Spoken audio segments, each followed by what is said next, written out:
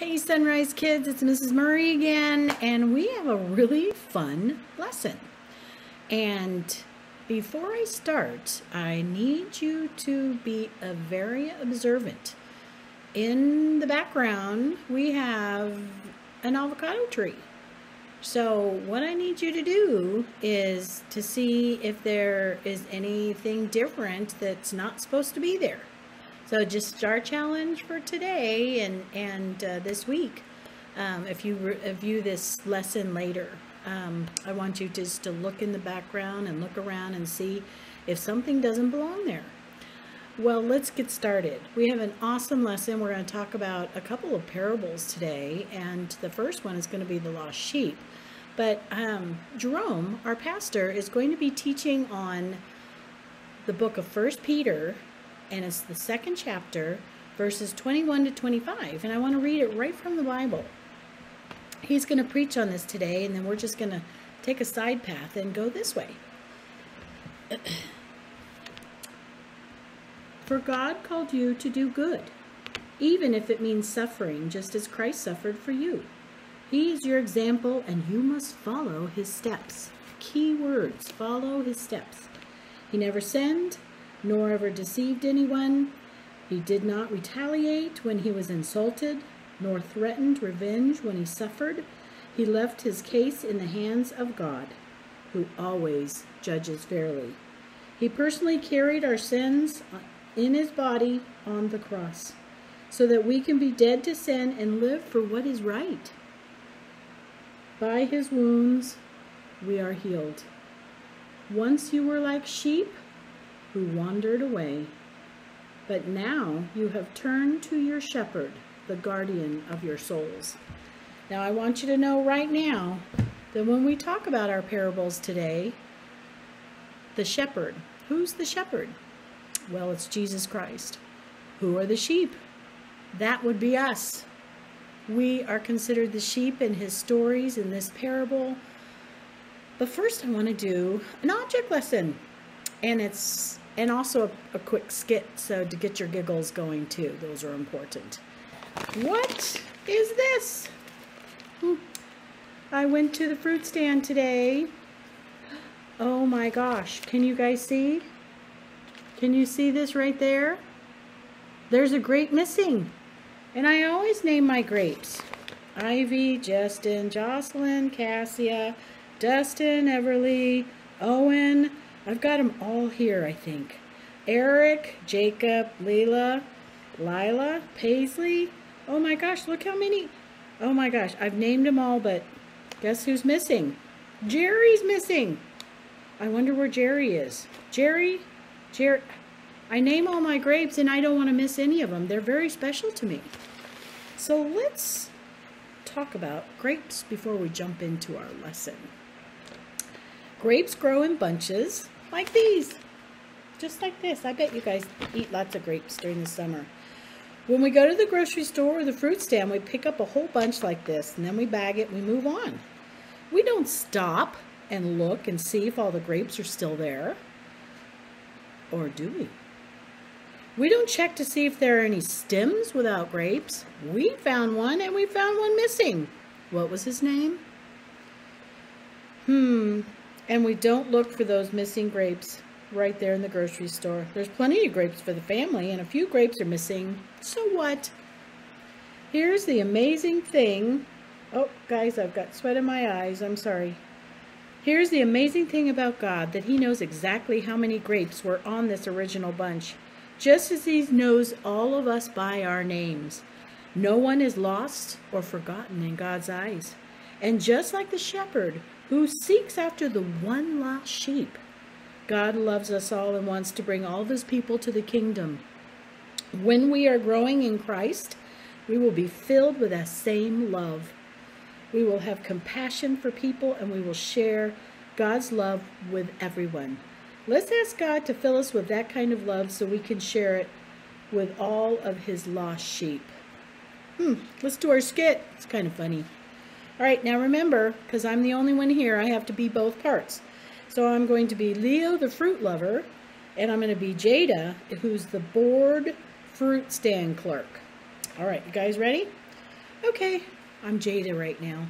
Standing, I'm so bored. Wonder where my phone is. I'll get caught somebody watches me with my phone. And then all of a sudden, Leo enters with a bag of grapes, just like this. And he says, Jada says to Leo, Hey, hey, welcome to Somerset Fruit Stand, where it's really boring here. Did you find everything you needed? I sure did. I came in looking for these yummy red grapes. And look what I found. Oh, how amazing. I can't believe you found grapes as a, at a fruit stand. Ha, ha, ha, ha. These grapes are perfect. So juicy, full of fiber. Mmm. They're so good for you too. How many grapes do you have, sir? Oh, just this bunch right here. That's all I have. That's all I need. oh no. Where's Jerry?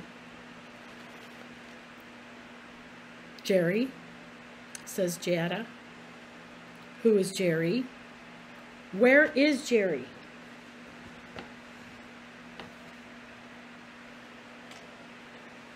I must have lost him when I was coming up here to pay for him. Who? says Jada. Jerry. He was right here. He was right. He was right there. She put it right in front of Jada's face. She said, Oh, what? Is Jada your kid? No, no, no kid. No, it's one of my grapes. Your grapes? Jerry, Jerry, where are you? You named your grapes? Yeah, I name all my grapes. Hmm. Ivy, Justin, Jocelyn. Let's see, Paisley, Lila, Leela, Eric, Stephen. Uh, I, I can't remember. I think that's Jacob. Um, oh, there's Everly and Dustin. Gosh, Cassia. Uh, here is Aria. There's even Dara and Owen. There's there's lots of them there. I could keep on going. I've named them all. Okay, I get it. The grapes have names. Okay. I love these grapes. I do, says Leo. I love them all so much. I can't leave one behind Jerry. Jerry, where are you? I said I want to talk to, well, I told my mom. I didn't want to work at a fruit stand. Look at all these fruits. I wanted to work at McDonald's. Why would my mom let me work at McDonald's? Jerry! But no, she makes me work at the fruit stand, so Jade is all about herself. Jerry, sir, why don't you just get another grape? I don't want another grape. I love Jerry, and I'm not leaving without him. Well, sir, we close at 6, so if you can't find your grape, Jerry is his name. His name is Jerry. Can you help me look? If you can't find Jerry before then, you will have to... I found him! Yay! I found Jerry! Oh, yay! I was so worried, Jerry. Not as worried as I am, says Jada. Now I tell you, miss these grapes, I love them. I would never leave a single one behind. Never, says Leo. Jada, you are really crazy about those grapes. As crazy as Jesus is about me. Lady, he wouldn't leave any of us behind, ever. How much do I owe you? You know, says Jada, you love those grapes so much, it's on the house. You just take them and go. Oh, that's so kind of you. I won't ever forget this. Really, it's my pleasure. I'll be back again next week. Oh, I can hardly wait. Wow. What? I'm going to eat Jerry. What a story. What an analogy. It, we're using for grapes and how much Jesus loves us, how much God loves us. Well, I want you to think about the parable of the sheep. The first fruit of the Spirit that they talk about is love. And in this parable of the lost sheep, it explains how much our God loves us. It is so exciting. But first, I want to intro to you. And it's about, have you ever seen a tree that tries to grow fruit. Hmm. Does a tree try to grow fruit? Either they grow fruit or they don't grow fruit.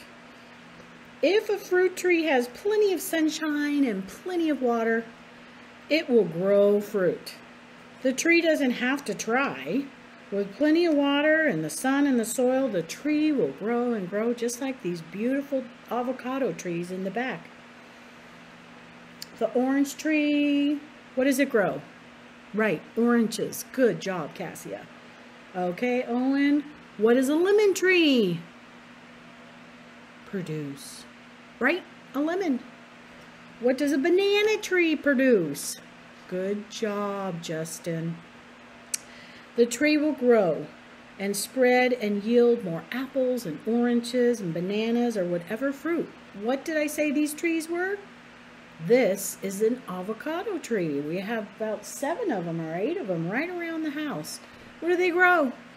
Avocados. Those are green, green fruit about this big. If they're so yummy. One of the most famous lines in Star Wars comes from the Jedi Master Yoda. He was my favorite. And he said, Do or do not. There is no try.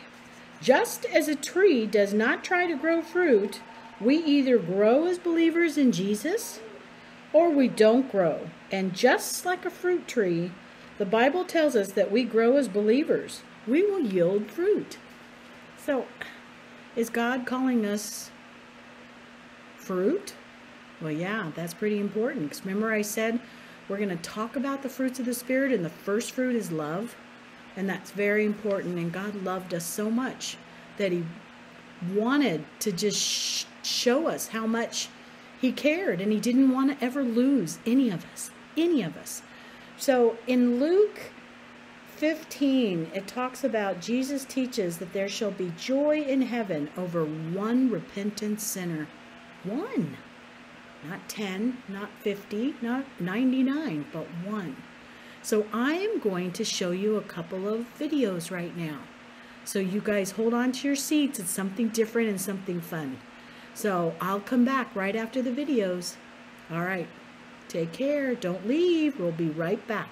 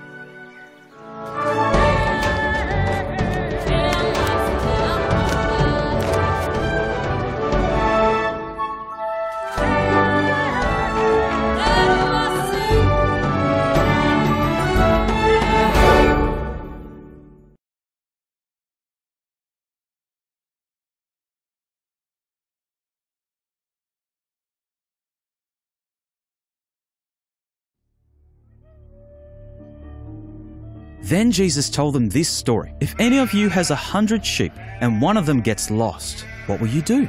Won't you leave the 99 in the field and go look for the lost sheep until you find it? And when you find it, you'll be so glad that you'll put it on your shoulder and carry it home. Then you'll call your friends and neighbors and say, Let's celebrate! I've found my lost sheep! Jesus said, In the same way, there is more happiness in heaven because of one sinner who turns to God than over 99 good people who don't need to. Jesus told the people another story. What will a woman do if she has 10 silver coins and loses one of them? Won't she light a lamp, sweep the floor, and look carefully until she finds it? Then she'll call in her friends and neighbors and say, Let's celebrate! I've found the coin I lost! Jesus said, In the same way, God's angels are happy when even one person turns to Him. Hey, SonRise Kids, did you have fun with the videos? I thought the animated sheep were kind of like little alien sheep. They were funny looking, but I, I know you got the gist of the story, which is important. Shepherding is a very common occupation during Jesus' time, and the people listened to this story because they knew how hard shepherds worked. They dedicated their whole life to their flock. They would risk life and limb to go save one that was lost. And that's, you know, God loved us so much too that He sent His only Son to die for us. God doesn't want any of His sheep, any of them, to be lost. God loved us enough to die for us. And if we're growing in our faith, then we will love other people as He did. And remember when I talked about we need to walk in His steps. So we know he walked in love. Love was not an emotion, love is an action. If we're growing in our faith, we will love other people the way Jesus did. We won't judge others, but we will love and care for everyone who needs love. We will produce love like fruit. And the fruit will help others come to believe Jesus as well. Those are kind of fun. Did you guys know that Abel was our first shepherd? And that's a good symbolism of, of uh, using uh, sheep as people. And we know the story, what happened there. And uh, I, I just want to say, to tie it in again with what Jerome is speaking, he's, he's going to talk about that Jesus, who did no sin himself, is the example of how we need to walk, even during affliction, which happens at home too, um, with our siblings, and at school with our friends, outside just playing kickball someone could unjustly call you a cheater and it's it's really hurts. And jesus doesn't want us to say anything back. He wants us not to judge them. He wants us just to love them. And sometimes that's hard. I want to finish with the prayer. I'm trying to find my prayer. And um, and I, I just want us to walk like jesus did. So my charge to you this week guys is I really, really, really want you to try to love others more, your brothers and your sisters, your friends, even school starting soon or homeschooling, Zooming, whatever. I want you to love them and not judge them. And if there's a situation where you're being unjustly hurt or anything, anything that's unjust, at home and with your friends or whatever, I want you to remember. Um, this is something that I did when I was in, in uh, I think, high school. It's what would Jesus do? And remember, what would Jesus do in this situation? Try to put that first before you react. What would Jesus do? Try to go through at least three or four days before you react. What would Jesus do in this situation? And remember, that love is the most important thing that God wants us to share with our friends and our families. And and um, that's our story today. The love he loved us so much that he gave us his son. And i want you to love each other. Remember the charge. See if you can find something different in my tree. It's kind of hard to see. Let me see if i can bring it up closer See if you can see anything that's not supposed to be there. That's my charge too. Call me and tell me what you think is wrong that shouldn't be there. Those are avocado trees. Just for a hint. Um, I just want to tell you I love you. Miss you terribly. And I just know we're going to get together really soon. So peace out and have a beautiful, beautiful week. And know that you can call me anytime. What's your charge? Find, tell me what, what's wrong in that picture. And also to love each other. And remember, what would Jesus do? Don't react. Think, what would Jesus do in that situation? So I love you. Take care. And I'll see you in a couple weeks. Bye bye.